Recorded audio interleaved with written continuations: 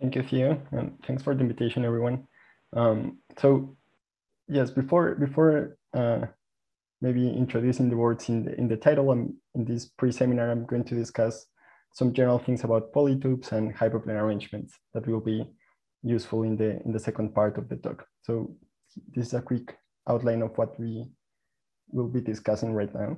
Uh, so let me start right away and we'll define a polytope that I guess we're familiar with what it is. So a polytope is just a convex hull of finitely many points in RD. Um, an important operation between polytopes is that of Minkowski sum. So the Minkowski sum of two polytopes P and Q is again a polytope. And as I said, it, it consists of all the points of the form A plus B, uh, where A is a point in the first polytope and B is a point in the second polytope. So geometrically, uh, how it looks like. So for example, here we're going to take the Minkowski sum of this trapezoid and this triangle. I could take the triangle or the second polytope in this case and take um, fix one of its points, maybe this, and, and try to put this point in every vertex of the other polytope. So for example, I can try to put the triangle over here, and then over here, and over here, and here, so in the four vertices in this case, and takes the convex envelope of what I get. So when I take the convex envelope of this, I obtain something like this, which is precisely this um, hexagon that we have on the right. Okay, so that's separation of Minkowski sum between polytopes. Uh, and of course, I can express this same hexagon in more than one way as a Minkowski sum. So this is one possible way to write as a Minkowski sum of two polytopes. Uh, and here's another way to write as a Minkowski sum of three segments. So see what happens if I take first the sum of this long segment and this diagonal, I obtain something that looks like this. So the segment plus the diagonal, I obtain something like this. And when I take the sum of these with this other segment, well, I put the segment in all the vertices of the of the parallelepiped. Uh, and when I take the convex envelope, I get the same hexagon that we had before. So these expressions are not unique, um, but the operation is, is the same. Basically, we're taking pointwise addition of these of these sets. Um, and I want to consider another way to write things down that it's uh, signed Minkowski sums. So I'm going to allow to move things around in an expression like this. When we say that these two sums are the same, I'm going to take the liberty to move things around and say, okay, maybe this trapezoid equals the sum of these segments minus this triangle. And the formal meaning of this will be uh, this polytope plus Minkowski sum plus the things that appear with a negative coefficient here equal the Minkowski sum of the things that appear with positive coefficients. So that's the formal statement. Uh, so not, not every sign Minkowski sum that I can write has meaning. Some of them won't represent a polytope. So for example, if you just take this difference right here, um, this doesn't represent any polytope because there's no polytope P such that P Minkowski sum with a simplex, a 2D simplex, uh, gives me a segment, right? That is not possible. Whatever I have when I add P and the simplex will be bigger than the simplex. So I cannot, I cannot get a, a segment. Uh, and also I wanna point out that in this expression, I have labeled uh, these elements right here because this picture, even though it looks two-dimensional, it's actually happening in R3, but it's happening in a hyperplane uh, where the sum of the coordinates is constant. So this one right here is the standard simplex. It has uh, vertices, the three canonical basis vectors in R3. Um, and these over here are just some of the faces of this simplex actually. So this one right here is this face, uh, the face right here. And this simplex right here is this face. Uh, and this long segment, it has an additional two here because I'm taking the face right here. So the, the one uh, joining the first and second canonical basis vectors and dilating that segment by a factor of two. So this two right here just means dilated by a factor of two, uh, which is the same as taking the polytope and taking the sum with itself. Okay. Uh, so we're also going to be considering expressions like these that we, we're going to call them sign Minkowski sums. Okay, that was the first thing that I wanted to review. Uh, the second thing that I want to review is deformations. And for that, maybe I will introduce normal fans first. So let me set up some notation. Uh, given a polytope P and any vector in RD that we're going to think of as a direction, I'm going to use this notation, so P sub D, to denote a certain face of the polytope that I get in this, in this way. So my vector V determines a direction, uh, just a vector in RD, and I can consider hyperplanes that are perpendicular to this, um, to this vector. And as I move the hyperplanes in the direction of B, I'm gonna be slicing P, uh, I'm gonna be intersecting P, and at some point I'm going to intersect it for the last time. If I move my hyperplane just a little bit more in that direction, the direction of P, the intersection becomes empty. So I'm going to take that last one, that last one such that the intersection is non-empty, and the intersection of that hyperplane and the polytope P is what I'm going to denote with uh, P sub B. So it is a face of the polytope. Faces of a polytope are precisely sets that we can obtain in this manner.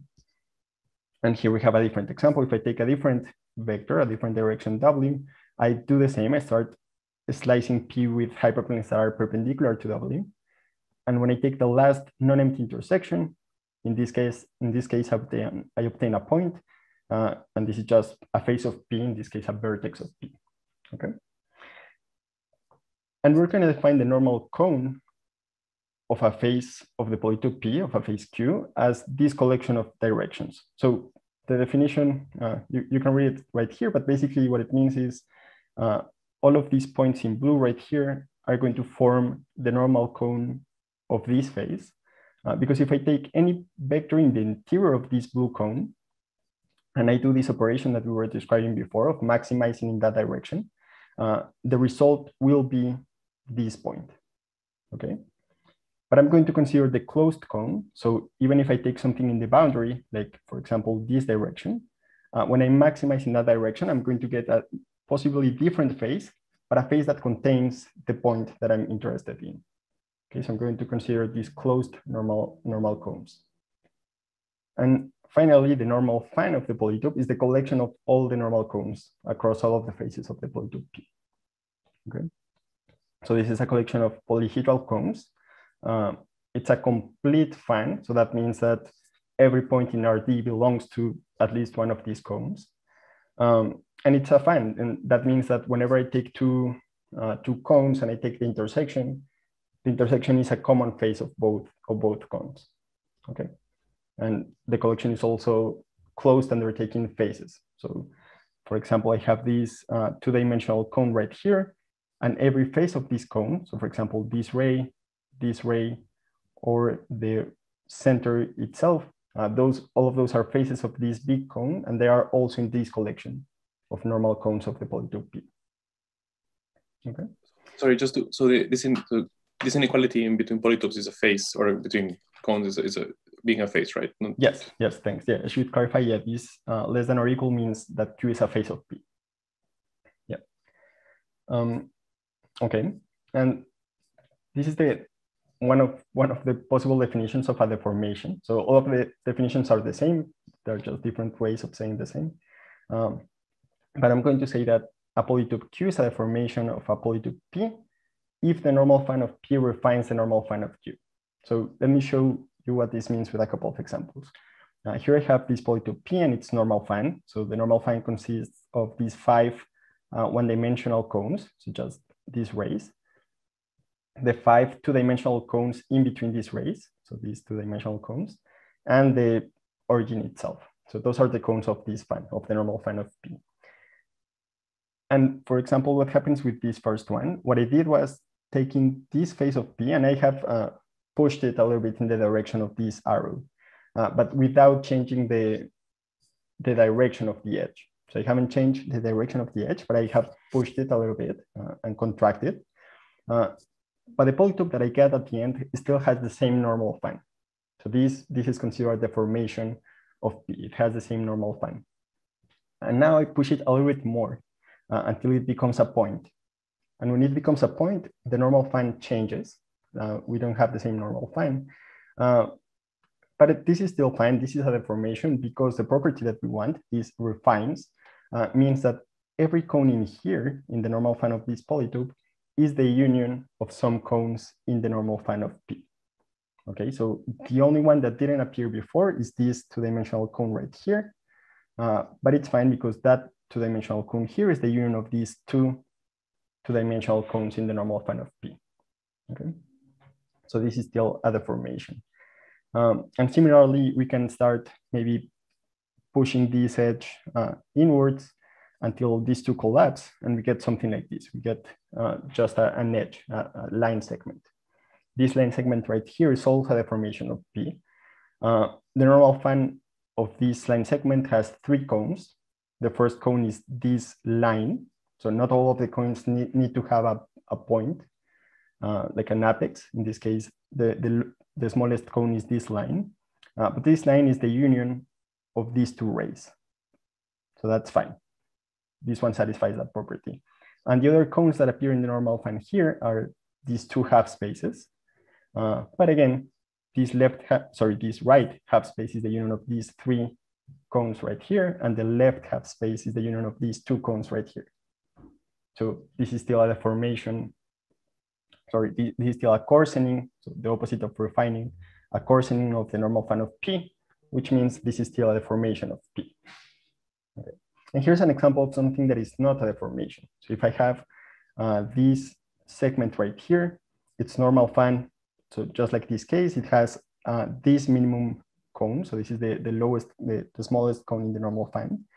Uh, but this cone, which in this case is just a line, is not the union of cones in the normal fan of P, right? Because this part, okay, is part of the normal fan of P, but there is no ray here that I can take the union with to get uh, this line.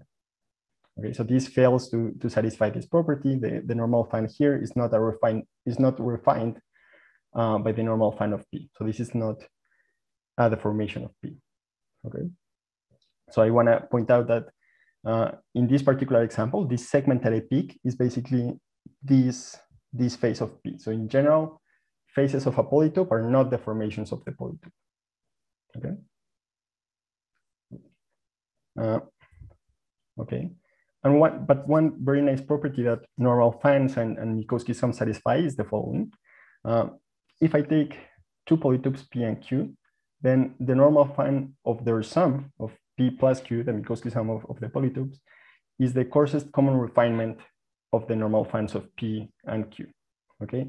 What it means is uh, to obtain all of the cones in the normal fan of this polytope, I just take all possible intersections of a cone in here and a cone in here. Okay. So for example, uh, this cone right here, this two-dimensional cone is the intersection of this cone here and this cone here. Okay.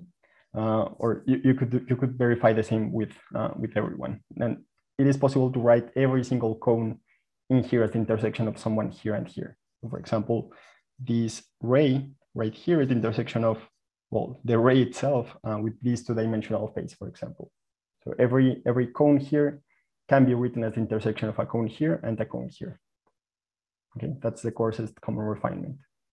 And because of this property, uh, we readily see that, for example, uh, P is a deformation of P plus Q, right? So a Minkowski summand, that's usually what we call this because this Minkowski sum with another polytope gives me this pentagon. We say that uh, that this triangle is a Minkowski summand of this uh, this pentagon. A Minkowski summand is always a deformation of the polytope, right? Because of this property precisely. Um, but it's also nice to check that if I fix a polytope P and I'm considering deformations of P, so I have two different deformations, Q and Q prime, uh, the, the Minkowski sum is also going to be a deformation of P, right? Because the normal fan of P refines the normal fan of Q and of Q prime. And the normal fan of the sum is the coarsest that still refines these two. So it's like a sort of like a least upper bound in, in a certain poset of ordering fans by refinement and, and something like that. So this is the uh, yeah, this is the coarsest that refines these two uh, but the normal fan of P refines each one of them. So it also refines this one. Okay. And actually, whenever the difference of Q and Q, Q prime is defined, it's also going to be a deformation of P in this case. Okay. Good. So any, any questions about this? What is minus Q prime? Do you just change the direction? No, no, no. So the, these Thanks for the question. This is not uh, reflecting Q prime and taking the Minkowski sum. it is not the same as that. Uh, this was that operation of, of sign Minkowski sums that we um, introduced before. So if this exists, that means that um, there is a polytope, let me call it R, such that the Minkowski sum of R and Q prime is Q. If such a polytope exists, then this is the same as R, as that polytope. But it not always exists. Okay. Uh, uh, yep. Oh, I had a question about the kind of first example you gave where you expressed the um, uh, hexagon as the Minkowski sum of line segments. Yes. Um, does it like matter where you put the zero there? Yes. So yeah. So here, here, um, I'm not putting coordinates precisely because things are moving around and I don't want to worry about that too much. But it is true. So if if we were to give coordinates, um, whatever, so it doesn't matter where the zero is, but this point, the coordinates of this point are the sum of the coordinates of this point. Uh, let me see, this point, and I suppose this point. Okay, so yeah, so the coordinates here are important, but I'm, I'm just not uh, being very careful here because later we're going to consider things modulo translation. But yes. Oh, gotcha. Thank you. Okay. Good. So and quickly, uh, let me define a couple of uh, yeah, small definitions regarding hyperplane arrangements. So we are working again over RD. So we're considering hyperplane arrangements uh, that are linear. So that means these hyperplanes here are just codimension one linear subspaces of RD, okay? And well, the first definition kind of an important one is what's a flat of the arrangement. A flat of the arrangement is any subspace that I can obtain as arbitrary intersections of hyperplanes, okay? And this can go from R2 itself, which is the intersection of no hyperplanes. If I take the empty collection of hyperplanes and I intersect that, I obtained ambient space, R2. Uh, it also contains each one of the hyperplanes, right? Because it's the intersection of just HI and that's it. Um, and also in this particular case, if I intersect any two of them, uh, I just get the, the zero vector. And in that case, that's another flat of the arrangement. And these are all in this example, okay? They form a poset and uh, well, more than that, they form a lattice and um, usually you see them ordered by reverse inclusion. Um, but that, that's not going to be very important right now. So I'm just gonna leave it like this uh, because it's more consistent with the next picture that I'm going to show because the, the second thing that I want to define are faces of an arrangement. So now to get a face of an arrangement, um, I'm going to do something similar. I'm going to be intersecting things, but now let's be careful because for every hyperplane, I need to pick either the hyperplane itself or one of the two half spaces that the hyperplane defines, okay? Uh, so for example, I can take, uh, let me see, this side of H1, I could take maybe this side of H2, it doesn't look very good. Okay, this side of H2 and this side of H3. And if I intersect these three half spaces, I obtain this cone right here. So that's an example of a face of an arrangement. Um, but if you look at the picture, it is what you what you would imagine. Think of this as the normal fan of something, and we already know what the normal cones are. Those are the faces of the arrangement. Okay, so in this particular example, we have uh, six full dimensional faces. Uh, we also have six rays. Again, they are here. And we also have this one that it's a face of, of everyone. Okay. Uh, okay, so I think I'm going a little bit over, uh, but let me let me finish with this. So we're going to consider an additional structure on the on the faces of an arrangement. There's a way a way to multiply the faces of an arrangement. Um, first, I can assign certain sign sequence to each face just by saying, uh, yeah, by, by, um, by adding a negative sign if it's on the negative side of a hyperplane. So here I have added arrows to denote what's the positive half space for each of these hyperplanes. Um, and then on the first coordinate, I'm going to write a negative sign if the face is on the, on the negative side of the first hyperplane, a positive sign if it's on the positive side, or a zero if it's contained in that hyperplane. So for example, this ray right here has this sign sequence, uh, minus zero minus, because it is on the negative side of H1. uh, it is contained in H2, so that's the zero, and it is on the negative side of H3. So it has this negative sign. And there is a way to multiply them uh, that we can define using the sign vectors. Uh, but maybe let me just give you a, a more geometric way to define the product. Um, and it is as follows. Um, this is not a commutative uh, product. So if I'm going to multiply this ray times this face, I have to keep track of the order. And I'm going to pick a point in the interior of the first face. So this one right here, a point in the interior of the second face. So for example, this one, and I'm going to walk in a straight segment from, uh, from the first point to the second, but I'm only going to move a, a very small positive distance, okay? And when I move a very small positive distance, I'm going to be in a pot potentially in a different face, and that face will be uh, the product of f times g. Okay, we could describe this using signs, um, but this is maybe more intuitive definition of what it means. Okay. Uh, oops, how how am I doing? No, it's time? okay with time. It's it's it's okay. very fine. You can talk until two more minutes if you want. Okay.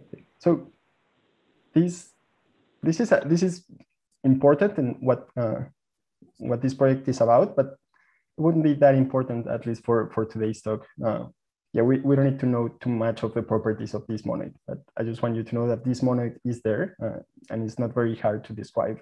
And it's very interesting. It captures a lot of the combinatorics of the, of the arrangement. Uh, and the last thing that I want to introduce are a zonotope or the zonotope of a hyperplane arrangement. So a zonotope uh, is a polytope that can be written as the Minkowski sum of segments. Okay, that's the definition of a zonotope. And if I have a hyperplane arrangement, A, what I'm going to do is take a segment orthogonal to each one of the hyperplanes of the arrangement. And then when I take the Minkowski sum, I get a, a zonotope. So just like in this picture, I have chosen uh, one segment for each hyperplane of this arrangement, taking the, the sum, and we get a uh, yeah, polytope, a zonotope.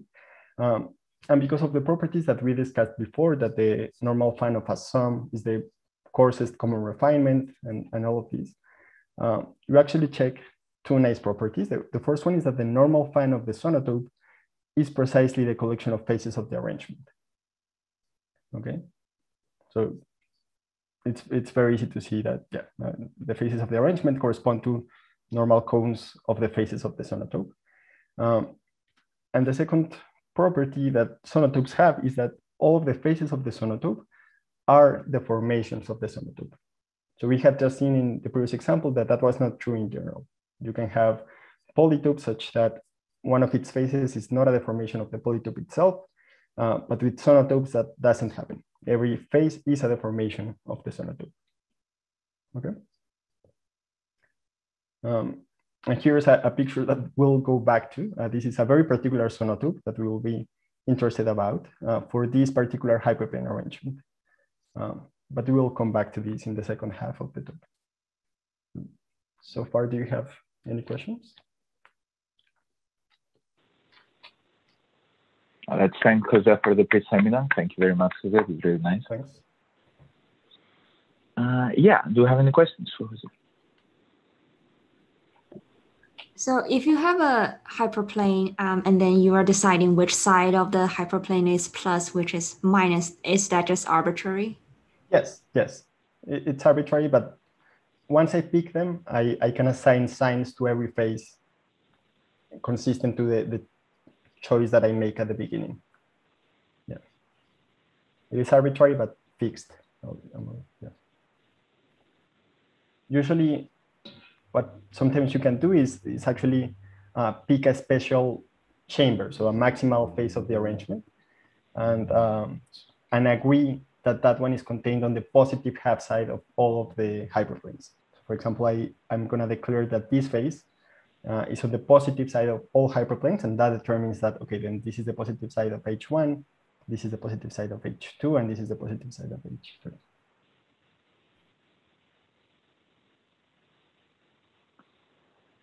And so I also wanted to ask, when you describe the monoid operation, so I think I was more familiar with seeing something that looks a little bit opposite, where the product is the last face that you get before you reach the second part. is that equivalent with with your version just doing the the other way around, the multiplication being the other way around? No, no, it's it's different. Um, so no. maybe what you're thinking about, or if I understand correctly, maybe what you're thinking about is uh, here. Here I'm just talking about linear hyperplanes. Um, but something that is very interesting is what happens if you have a linear hyperplane. So just like this one. Let me not draw it again. So a linear hyperplane like the one you see right here, uh, and a deformation of this. What, what is a deformation? It is a hyperplane arrangement whose hyperplanes are parallel to these ones, okay? But now not necessarily linear. So for example, I have something like this, and like this, and maybe this, okay? Then uh, there is a module structure. So first of all, the faces here have a monoid structure, the same one that we just described. But also there is a um, there is a module structure of the faces here as a module over the faces here. And there is actually two, one, on, one as a right module and one as a left module. Uh, so I don't remember which one is which right now, but one of the descriptions is uh, a face here determines certain direction. One of the products is walk in that direction until you reach the first face. And the other one is walk in that direction until you reach the last face. Uh, so I, I, think the first face is the action on the right, and uh, the last face is an action on the left. Uh, but yeah, the, the, there are different structures. Yeah. Okay. I have a question about the the zonotopes. Um, are there any other like characterizations of zonotopes? Like if you look at a polyhedron, can you tell whether it's a zonotope, or do you have to like compute the the, the normal fan on the faces and things? Um, I mean, this this is sort of a characterization, roughly. Um, the the so we, we saw before how if you have a Minkowski summand, a Minkowski summand of a polytope is always a deformation of that polytope, right? Here we're just saying that the faces of, of a zonotope are deformations, but it's even stronger. The faces of the zonotope are Minkowski summands of the zonotope, right? And that that completely characterizes zonotopes. Um, so for example, I could, I could move this a little bit and this is no longer a zonotope, uh, but it's almost a zonotope. This polytope still satisfies that every face is a deformation of, of, of the polytope itself, okay? Uh, but it is not a zonotope anymore. But the property of every face being a Minkowski summand, that one determines zonotopes. Um, yes, but it, it is not it is not a, an efficient way to find out if something is a zonotope um, like that. Um, yeah, I'm, I'm not sure what an efficient way would be. Um, yeah, I'm not sure. That's a good question. Thank you. Probably, probably, I'm not, I'm not sure if this is true, but I think this is necessary uh, if you look at all the edge edges, all the edges that appear, uh, every edge that is parallel to another ha has to have the same length. And I think that might be enough.